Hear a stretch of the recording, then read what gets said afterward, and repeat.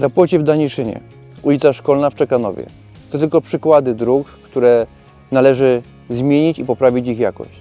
Ale ku temu ma służyć nasz gminny program remontów i budowy dróg, który Wy Państwo również będziecie wspólnie tworzyli z samorządem gminnym. Dzięki temu będziecie wiedzieć, kiedy i w danym roku dana, droga będzie zrobiona i kiedy będzie po niej można jeździć normalnie. Skończą się rozmowy, skończą się dyskusje i obawy, że dana inwestycja przeniesiona będzie na inny rok, ponieważ my chcemy, żebyście Wy razem z nami tworzyli inwestycje drogowe i polepszyli standardy bezpieczeństwa.